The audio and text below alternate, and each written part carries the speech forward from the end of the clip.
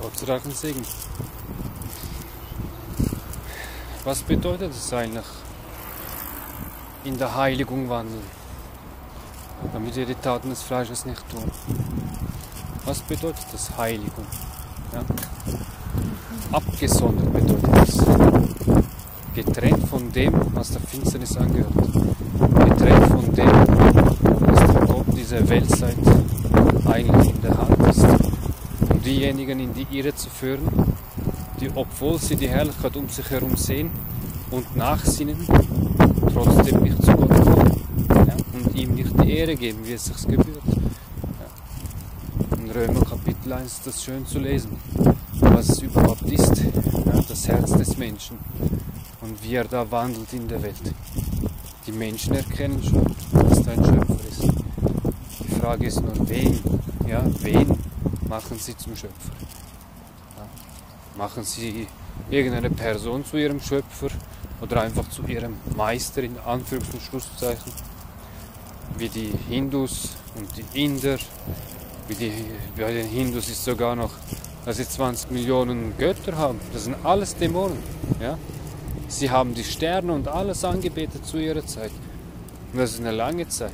Ja? Und das machen sie eigentlich immer noch. Aber sie erkennen das nicht mehr obwohl das Erkennbare, ja, was von Gott geschaffen ist, das ist vor ihren Augen. Aber sie wollen lieber in den Spiritismus und, und solche Sachen machen. Sie wollen lieber Zauberei betreiben. Ja. Dort ist es ganz normal. Dort brauchst du keinen zu fragen, was ist Magie, was ist das, was ist der, den Baum anbeten und so. Die kennen das, Waldgeister und all diesen, diesen Kram, die kennen das. Ja?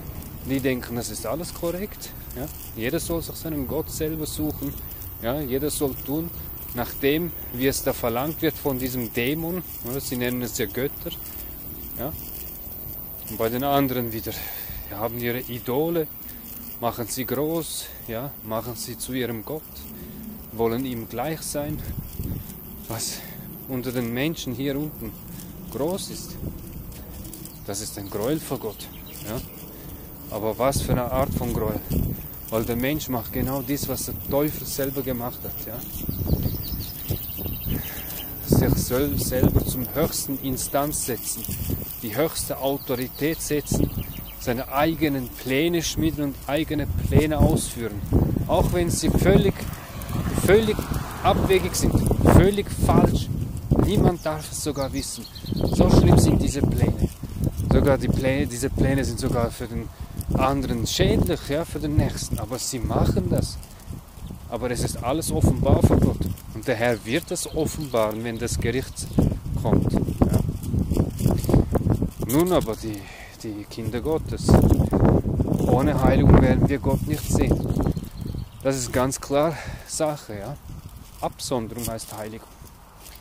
Wir sollen komplette Trennung haben von dem, was wir früher einst getan haben. Also einige werden jetzt sagen, das ist übertrieben und alles. Ich verstehe, dass das einige so natürlich meinen. Ja? Das ist kein Problem. Das ist ja auch unsere Weltzeit. Ja? Darum hat der Herr ja auch in der Offenbarung gesagt, was er mit den Lauwarmen macht. Das bedeutet, es gibt solche, die alles gut heißen, die auch mal sagen, ja komm jetzt, also das, der, der missionieren und so oder in den Gottesdienst gehen oder, oder einfach mal andere besuchen oder ach komm jetzt, also das mache ich doch nicht und für andere da sein, ja, ab und zu vielleicht, wenn überhaupt, ja, wenn man das alles vernachlässigt, ja, lauwarm ist das, lauwarm Wandel, mit der Welt, mit der Welt gemischt alles, ja, und da wirst du vergehen. Der Herr verlangt von uns alles und das ist ganz einfach sogar. Weißt du wieso? Ja, weil der Herr doch durch uns groß sein soll. Ja, der Heilige Geist soll doch in uns größer werden. Immer mehr und mehr Platz einnehmen in unserem Leben soll unser lieber Herr Jesus Christus. Er soll doch die Nummer eins sein in unserem Leben. Das ist ja das Ziel. Er selber, ja. Wenn wir bei ihm sind, das, das ist für uns gar nicht mehr vorstellbar. Ja, das, das ist weit über dem hinaus. Man schau mal die verherrlichte, mit dem verherrlichten Körper, der, unser Herr Jesus Christus hat doch nichts mit dem gemeint, was die da unten gesehen haben, unseren lieben Herrn Jesus Christus. liest mal Jesaja 53, wie verachtet der Herr war, wegen, wegen seinem Aussehen, wegen dem, was er ertragen hatte. Und siehe mal da bei Offenbarung Kapitel 1, die erhöhte äh, Personalität unseres Herrn. Und genauso war der Herr von Ewigkeit zu Ewigkeit. Verstehst du? Wir dürfen und müssen, das ist eine Hauptaufgabe, uns absondern. Ja? Das Blut Jesus trennt uns von allem, was der Finsternis angehört. Ja? Unser Glaube ist es, der diese Welt überwindet, heißt es. Also, was ist da unmöglich? Ja? Alles ist möglich dem, der da glaubt, heißt es. Ja? Es steht alles für uns geschrieben. Ja? Das Gebet eines Gerechten vermag viel, wenn es ernsthaft gemeint ist. Ich habe das extrem ernst genommen, diese Verse. Ja? Alles ist möglich bei Gott, steht da. Habe ich extrem ernst genommen. Ich habe vieles dem Herrn aufgeschrien. Soll mich trennen von allem, was mir von ihm trennen könnte. Und voilà, das ist das Ergebnis. Ja. Ich habe von vielem mich distanzieren, nicht nur distanzieren, sondern ich bin wieder von geblockt. Ja. Das ist keine neue Begebenheit oder so irgendetwas, das ist seit langem. Ja. Ich mache gewaltige Fehler, das ist gar, kein Thema. Stell dir vor, wir machen immer Fehler, wir sündigen immer, leider. Ja. Darum war der Herr ja am Kreuz im Golgatha ja, vor den vor den Toren Jerusalems all unsere Sünden, die wir getan haben, die wir leider noch tun und die wir leider auch noch tun werden. Ja? Das ist das Problem, dass wir nicht aufhören. Allerdings Trennung von, von den Werken der Finsternis, die kannst du. All diese Werke, die sind auch allesamt, allesamt offen vor unseren Augen. Alles. Ja? Und wir müssen uns davon trennen. Und das kommt dazu, das muss ich dir sagen. Der neue Bund, in dem musst du wandeln. Ja. Du kannst jetzt noch sagen, ja, ich kann im alten Bund sein, es ist gar kein Problem. Dann muss ich dich dann fragen, worauf setzt denn du deine Priorität? Wenn du im alten Bund wandelst, bist du nicht im neuen, du kannst es nicht mischen. Da musst du dich entscheiden, was mache ich jetzt eigentlich? Ja? Der alte Bund ist ans Kreuz gebracht. Alles. Ja? Das war kein vollkommener Bund. Ja? Das ist alles eigentlich abgeschlossen. Komplett. Es steht eigentlich alles so geschrieben. Aber es gibt Denominationen, die, die wollen das nicht verstehen. Das finde ich so gewaltig. Ja? Aber so viel sage ich einfach. Entweder bist du im alten oder im neuen Bund. Da kannst du nicht mischen hin und her. Da kannst du nicht so einen Bibelvers lesen und den anderen dann dem, der gleich darauf folgt, loslassen. Der Herr hat selber gesagt, ja, es ist vollbracht, es ist beendet, alles. Damit hat der Herr einfach alles gesagt, ja. Alles ist beendet, ja. Und in der Offenbarung sagt der Herr dann, was da wirklich gemeint war, ja siehe, ich mache alles neu. Mehr weiß ich jetzt nicht auswendig, da zitiere ich auch nicht, wenn ich das nicht kann. Ja? Aber der Herr macht alles neu, komplett. Ja? Der Herr hätte diese Welt auch einfach nur restaurieren können. Und wieso nicht? Man sieht doch, sieht doch alles ganz schön aus, oder? Durch die Augen des Herzens, das ist doch wunderschön. Ich habe solche Herrlichkeit nie gesehen. Egal ob Schnee, Regen, mir ist piep egal, Samstag, Sonntag ist sogar sehr viel Schnee, äh, Schnee, Regen, Gewitter und alles angesagt. Aber da bin ich unterwegs, wo Gott will erlaubt. Da wird es mir genauso gefallen, weil es ist durch, nicht mehr durch, durch die natürlichen Augen. Also der Herr hätte auch alles nur restaurieren können. Für was ein neuer Himmel und eine neue Erde? Was meinst du? Die Sünde muss komplett ausgetilgt sein. Diese Weltzeit muss zu Ende gehen mit allem, was darin ist. Ja? Dies alles muss weg. Es kommt alles, alles anders, wie wir es uns jetzt gerade auch nur irgendwie vorstellen könnten. Ja? Jetzt gerade im Himmel, wir wissen nicht, wie das ist. Wir können uns das nicht vorstellen, auch wenn einige meinen, sie können sich das vorstellen. Ja? Das kannst du nicht.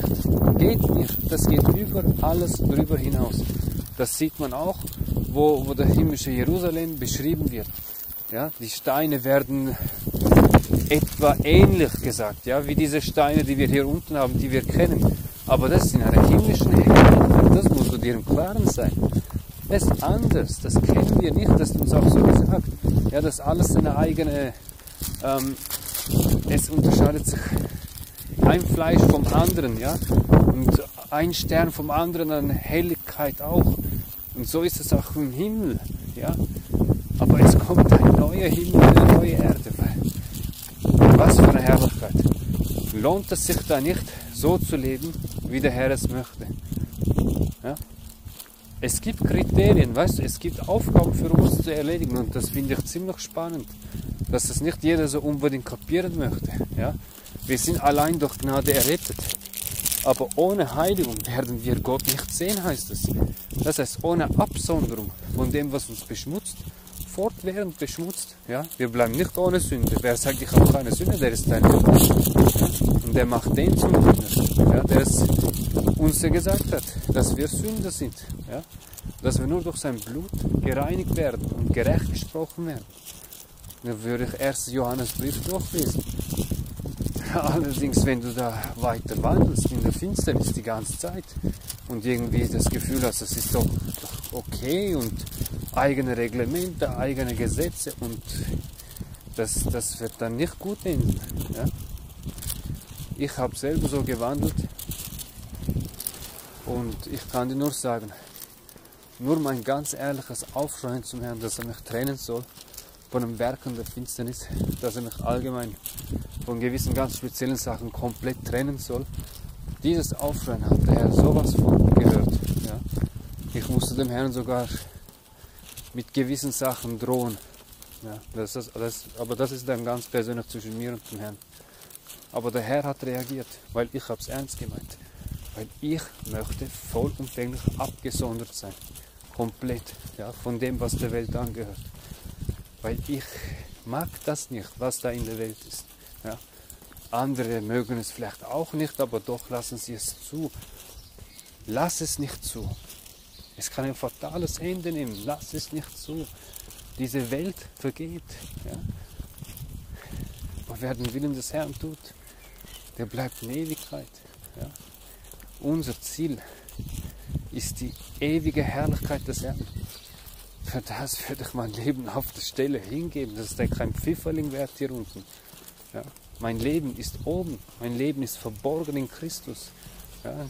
Ich habe eine Wohnung da oben. Das habe ich meiner Schwester sogar gesagt zuletzt. Meine Wohnung ist da oben, nicht hier unten. Ja. Nicht hier. Das hier ist, das ist eine große Aufgabe, die wir allesamt haben, dem Herrn nachzufolgen. Aber eben, dies ist meine Warnung an dich. Die Zeit ist unfassbar nah. Ja?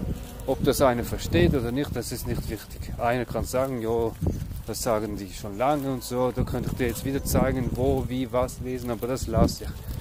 Weil jeder macht sich eigene Lehre komischerweise. Es steht alles doch klar geschrieben. Der Heilige Geist zeigt es doch auf. Ja. Wenn man allein die Nachrichten kurz anschaut und es nur mal einen Moment innehaltet und alle Bibelverse so, die man kennt, in den Sinn kommen, was die Endzeit betrifft. Wir sind mittendrin, nicht nur dabei. Was erwartest du noch? Was erwartest du noch? Die Zeit ist da. Die Zeit läuft ab. Mit was beschäftigst du dich noch? Ja.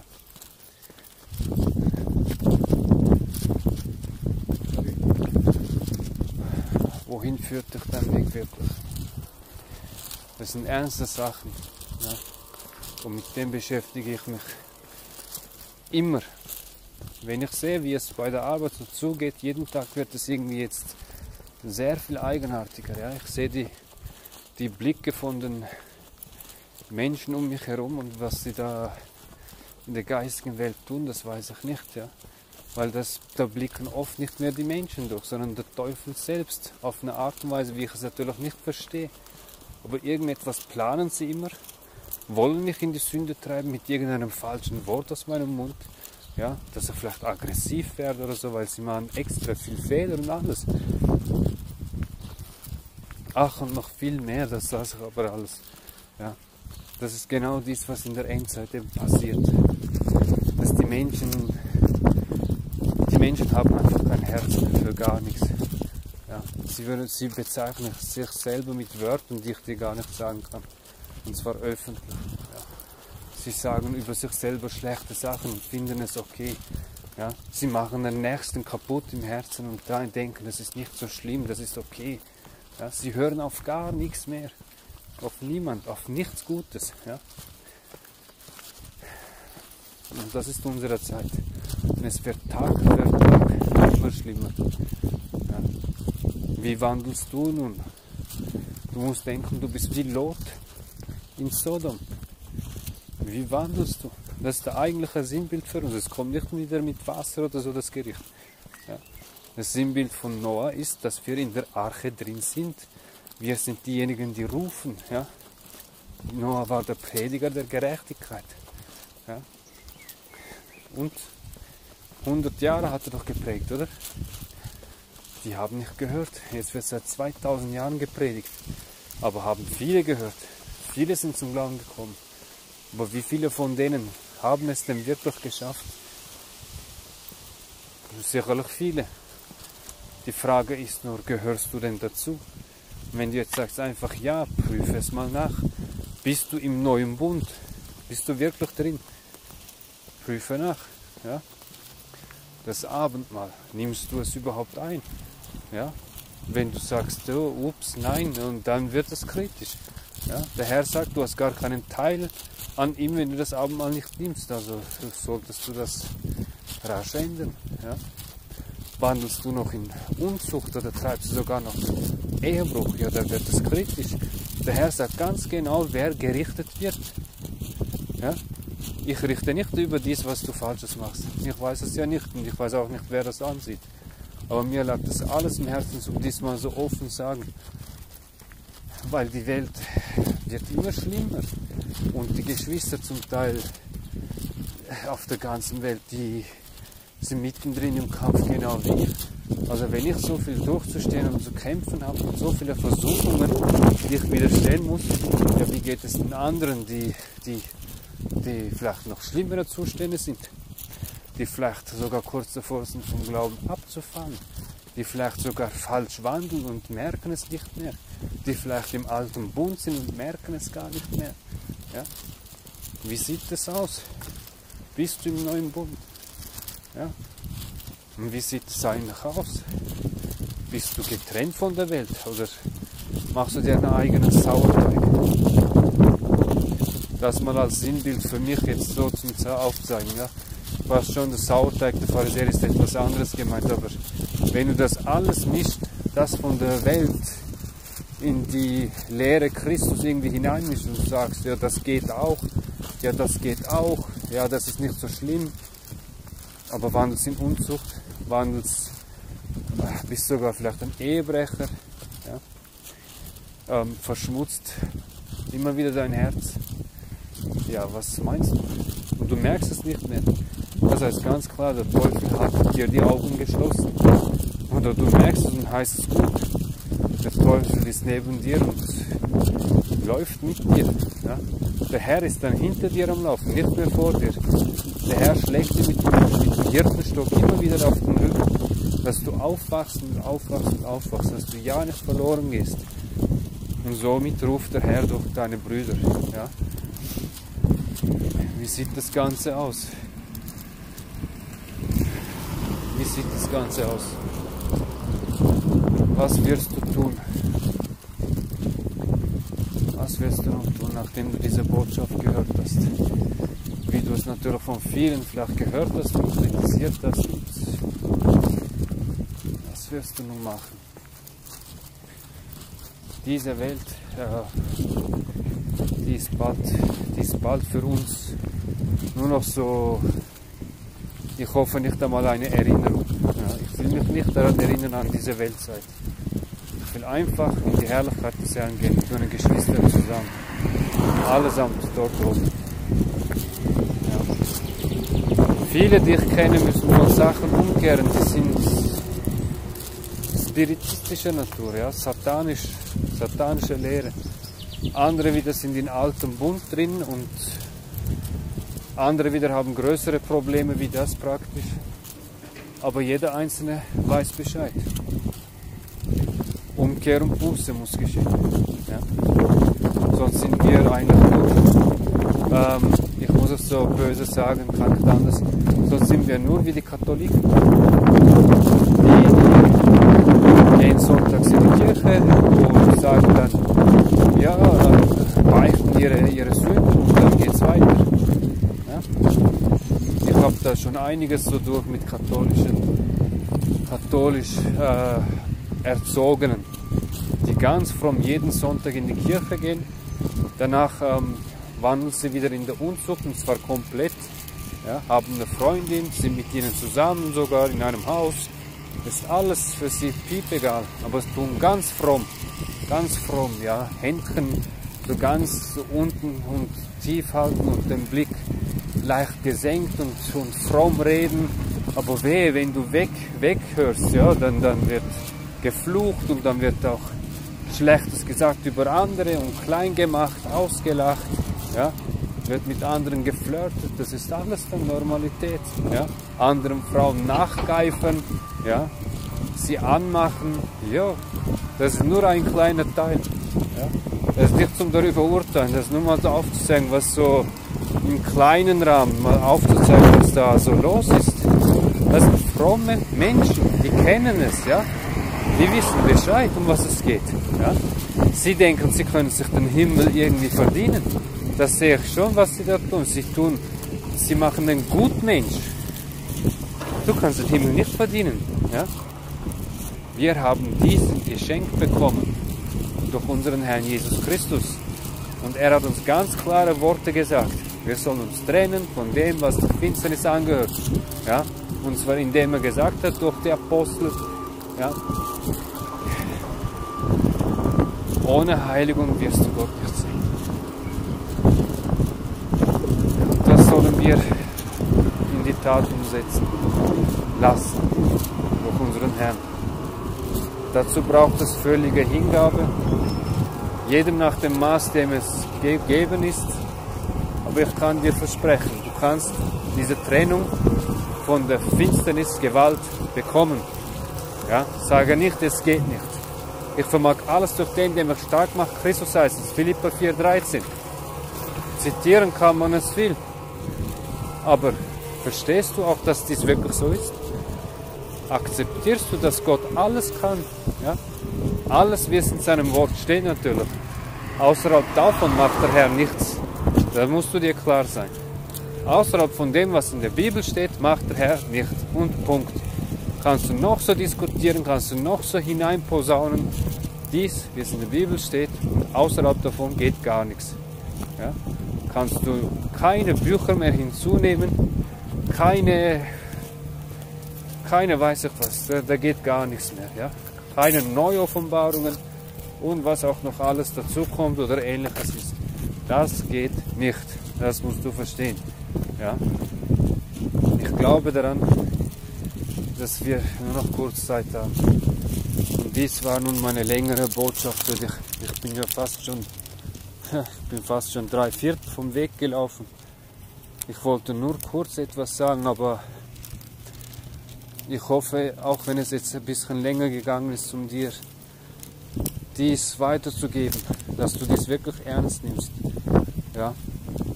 Ich könnte noch einiges jetzt erzählen wegen wegen der Arbeitsstelle, was da los ist mit den Personen, aber ich glaube, das würde zu weit gehen und würde auch irgendwie zu sehr den Rahmen sprengen, ja. Ich hoffe, du nimmst es wirklich ernst. Wenn ich es nicht gut rübergebracht habe, tut es mir natürlich leid. Aber das ist alles ganz genau so biblisch korrekt. Das versichere ich dir. Du sollst natürlich prüfen, aber ich kann dir sagen, Genauso wie ich es dir gesagt habe, ist es. Nun bist du dran. Wenn du Hilfe brauchst, wirst du Hilfe bekommen. Ja? Und zwar nicht einfach von mir, wer bin ich schon, ja? nur ein elender Knecht, sondern alle anderen, die hier auch im Kommentarfeld aktiv sein dürfen, können und sollten eigentlich, ja. Und die können auch helfen. Wenn irgendein Sektierer kommt, dann ist ganz klar, äh, irgendwie irgendeinen alten Bund oder so irgendetwas so aufsagt, der wird selbstredend gesperrt. Das muss sein, weil das ist extrem gefährlich. Ja? Das muss dann geschehen. Oder wenn irgendeiner die Sünde einfach gut heißt und so sagt, ja, das ist doch nicht so schlimm und so, der wird ganz klar also zurechtgewiesen und wenn er nicht versteht, dann muss er auch gesperrt sein, weil viele gehen dann in die Irre wegen dieser einen Person und das darf auf keinen Fall geschehen. Ja, also so viel Verständnis, glaube ich, sollte jeder dann haben, wenn er gesperrt wird und ja, Amen.